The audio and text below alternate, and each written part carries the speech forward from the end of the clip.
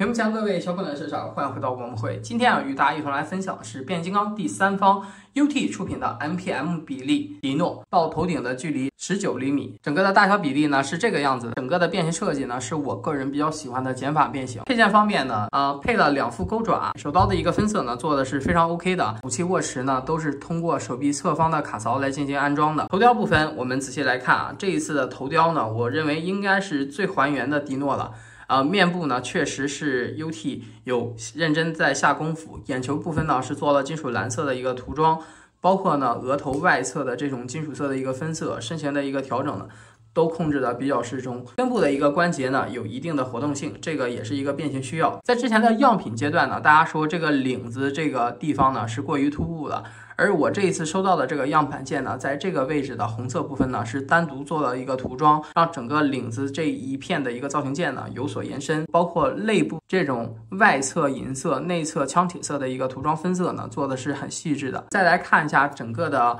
啊这个肚子的轮廓部分啊，它这个地方处理的是我个人非常喜欢的一个类型，把整个的车型包裹到里面。内部的造型，它也是用实打实的车灯来进行一个包裹，整体的这种一体性和完整性呢。处理的是非常得当的。手臂的根部关节呢，因为它是一个蝴蝶关节的一个设计，所以说可以摆出一个各种非常大弧度的一个造型，迪诺标准的这种抱胸的一个造型。根部的一个活动关节呢比较紧实，上抬可以抬到这么大的一个部分，整体的一个平转呢有一定的活动关节展示。大臂的部分支持平转，曲肘的关节呢，两段性的活动关节可以做到这么大的一个活动角度。手腕的一个部分支持平转，外侧呢也是有这种指虎的细节，是四指联动。然后拇指部分呢是有两段的活动关节，肩部的这个造型件呢。并没有做一个完全意义上的锁定，然后背后的这个翅膀部分呢，由于采用了多段式的一个活动性，所以呢，翅膀本身呢还是有这种上下的一个平转，也可以通过旋转关节把整个的翅膀呢收到背后，整体的后背的一个细节涂装呢也做得非常精细，这个地方的一个保险杠细节，还有车灯的细节，都是完全用真车的一个造型来进行一个刻画，所以说 UT 的这个设计师真的是太厉害了。腰部呢是支持腰转的，大家可以从正面来看，没有一个下腰的关节，但是整个设计啊，在这个地方来说，我觉得活动性是蛮够用的。根部的一个关节呢，前踢虽然没有齿轮关节，但是整体的一个阻尼感呢做的很强，甚至呢你可以调整一些角度，摆出一个非常夸张的造型。后踢呢也可以。摆出一个非常夸张的造型，再来看一下侧腿部的一个关节啊，多少是会有一些影响，但是呢问题不大啊，这个地方的一个处理已经做得很棒。腿部侧面呢这个地方，我们简单来看一下整体的这种层次感和枪铁色的处理做的是非常 OK 的。那腿部这个地方呢是有一个透明件的围度卡扣啊，我刚才没有给它锁上。腿部外侧呢也是有这种，这个也是迪诺的一个标志吧。膝关节的部分我们可以看到膝关节，我们可以把它抬到一个非常大的活动，后腿的。这个小的造型件呢，也有刻画出来，可以做一个三六零的一个平转，向里有这么大的一个活动角度。对于整个产品的一个人形方面来说，我觉得可以给一个很高的分数。啊，虽然是没用到真胸的设计啊，但是能把这种层次上面的这个东西啊做出来，然后整体的一个效果呢，刻画的是非常 OK 的啊，这个就是要给予好评。那接下来呢，我们就开始这款产品的一个变形。嗯，头部这个地方通过双动关节往前。后领子的这个部分是两侧的一个小造型键，把这两侧红色的部分往前提。首先这个关节的位置把它打平，OK。然后这一侧顺着这个蝴蝶关节，我们就往前上就可以啊，我们就把它打平。指虎的位置呢，那冲前，OK。手掌内内外侧的这几个卡扣的部分。我们把它密合上，把这个地方适当避让。我们先从内部这个部分开始解锁，这个地方卡扣是有一个锁定卡扣的，我们把它解锁开，解锁开，调整一下。我们翻到背部来看一看这两个地方究竟是什么，看到了吗？这就是车头本身。这一次设计呢，在这个地方我真的是鸡皮疙瘩都起来了，太神奇了。然后呢，把两个翅膀的部分往外做一个延展，避让出相应的一个位置点，把整个的这一片给它拉开。车头就出来了啊！车身整个位置点这一片翻折开，看到了吗？然后这一片的一个造型，把红色的关节和两侧的双动关节往下压，消失的车头就出来了。两侧的车头往前抵呀。手部呢这个地方适当的做一个调整，避让出空间位置点。小翅膀的关节正常的摆动，这个地方提起来往上扣。衣领这个一片儿，我们把它翻过来，它弥补的是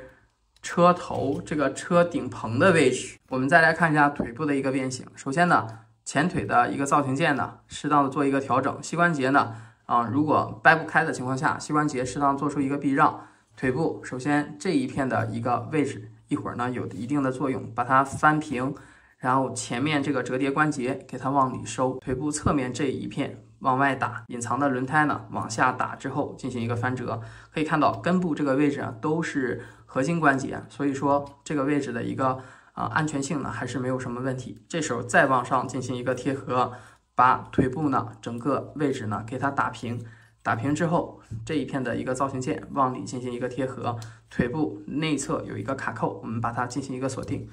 有一个非常明确的一个锁定位点。好，OK，脚掌的部分，首先往里这这个地方有一个滑动卡扣，这个地方是一个很细小的位置啊，把这个地方的一个滑动卡扣锁定住，然后腿部做一个啊旋转，旋转之后整个脚掌部分呢。从侧面来看是这样的一个造型，脚尖儿的部分往里进行一个收纳，这一侧呢进行一个贴合，尾巴这个造型件的位置把它翻开，然后两侧这个地方打开，这位置设计也是很有意思。腿部呢进行一个翻折，内扣一下，啊，它整个刚才就是想收纳胸口的这个部分，我们把这两侧呢给它翻开，那个地方折一下，把整个的车。后屁股这个地方进行一个包裹，腿部呢，这时候再进行一个锁定。呃，第一个锁定位点呢是在透明件这个部分啊，你可以看到这个地方腿部呢，适当的往上提的时候，这个腿部的造型件和透明件的部分呢有一个锁定位点。OK，然后第二个锁定位点呢是这个部分脚尖的部分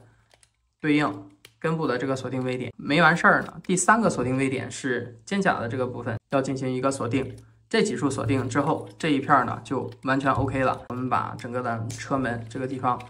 内侧这个位置啊是有一个锁定卡扣的，我们把它压住。OK，那调整之后呢，整款 UT 的车型呢就变形完成了。这个地方我特意是没给大家做这个呃密合，是因为它确实是有一个呃开车门的设计啊。但是我觉得整体开车门之后啊，会破坏整个产品的一个一体性，所以说这个地方呢，简单给大家去做一个展示。我们平时呢，卡扣的这个部分还是要锁进车门里面这个地方进行一个锁定的，整体密合上去之后呢，车型呢就算是完整了。那大家觉得整款产品的一个变形怎么样呢？我个人呢是非常非常喜欢。那这一次啊 UT 非常巧妙的做了一个减法设计。几乎是车的每一个倒角，每个地方呢，在人行方面呢都有用得上。那车型方面呢，最大的问题啊，可能是有一点点破碎啊，但是整体的这个红色的一个处理啊，还是非常耐看的。红色本身呢是做了这种 UV 的一个光油设计啊，然后车灯部分呢是镶嵌了这个透明件，轮毂部分呢是这个橡胶轮胎，整个的一个推动性呢也是没有什么问题。